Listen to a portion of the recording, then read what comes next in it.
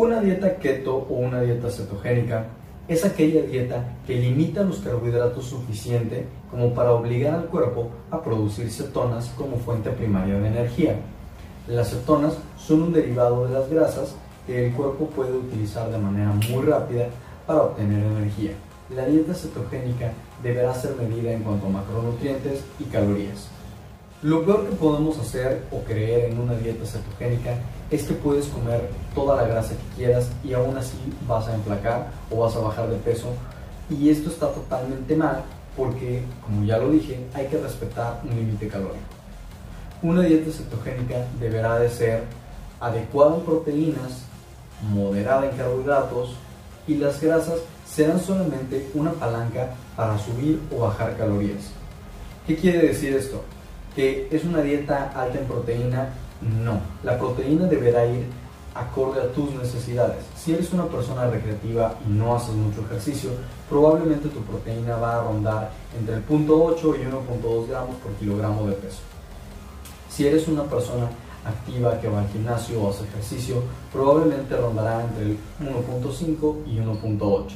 Y si tu meta es aumentar masa muscular en una dieta cetogénica, la proteína rondará alrededor del 1.8 a los 2 gramos por kilogramo de peso, igual que en cualquier otra dieta.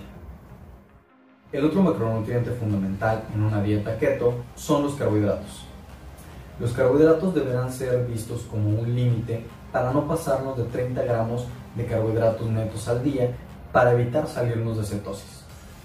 Y por último están las grasas que van a completar ese total de calorías para poder nosotros crear un déficit o un surplus calórico y de esa manera optimizar la dieta para perder peso, mantener peso o ganar masa muscular. ¿Qué podemos comer en una dieta cetogénica? En una dieta cetogénica idealmente hay que consumir productos animales de calidad, carnes rojas, carne de cerdo, pescado, atún, salmón, huevos, debemos de consumir suficientes vegetales verdes. Mucha gente cree que al ser una dieta baja en carbohidratos no se comen vegetales y esto es totalmente un error. Hay que consumir muchos vegetales porque será nuestra fuente principal de micronutrientes. O sea, que hay que consumir vegetales como la espinaca, las acelgas, calabacitas, nopales, etcétera, etcétera. Lo que debemos evitar en una dieta cetogénica son todos los carbohidratos, sobre todo los simples, azúcar, panes, pastas, harina, frutas como el mango, el melón, la sandía, que tienen mucho contenido de carbohidratos. ¿Qué beneficios obtengo de una dieta cetogénica? Uno de los mayores beneficios de una dieta cetogénica es que podemos controlar los niveles de glucosa, mejorar la hipertensión, mejorar la concentración, mejorar el rendimiento cognitivo, mejorar la saciedad y los antojos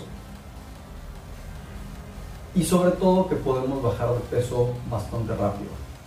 ¿Por qué se dan todos estos beneficios con una dieta cetogénica? Al reducir los gramos de carbohidrato que nosotros ingerimos, también bajan los niveles de insulina y por eso es que la glucosa se regula mucho mejor en una dieta cetogénica que en una dieta tradicional. Por la misma naturaleza, al tener proteína adecuada y grasa suficiente, que son macronutrientes complicados de digerir para el estómago, obtenemos mucha saciedad y a la larga se reducen mucho los antojos de cosas dulces. Otra gran ventaja de la dieta cetogénica es que es muy fácil de llevar y pueden ser platillos muy sencillos, con pocos ingredientes, que nos van a aportar una muy buena cantidad de nutrientes, como por ejemplo huevos con tocino y brócoli Así de sencillo, tres ingredientes, vamos a obtener proteína de calidad, grasas de calidad y sobre todo fibra y micronutrientes esenciales. Uno de los aspectos a tener en cuenta en la dieta cetogénica es el contenido de minerales, ya que al haber poco carbohidrato disponible tendemos a perder cierta cantidad de agua y los minerales serán esenciales para mantenernos bien hidratados. Así que hay que tomar en cuenta el sodio, el potasio, el cloruro, el bicarbonato, etcétera, al momento de hacer una dieta cetogénica. Una manera muy fácil de rellenar la reserva de minerales es consumiendo sal y sal light, que es alta en potasio. Si quieren saber más acerca de la dieta cetogénica, platillos, qué suplementos podemos utilizar y demás, Déjalo en los comentarios. No olvides darle like al video, suscribirte al canal y compartirlo con todos tus amigos. Yo soy Alfredo, licenciado en nutrición, y nos vemos en el siguiente video. Hasta la próxima.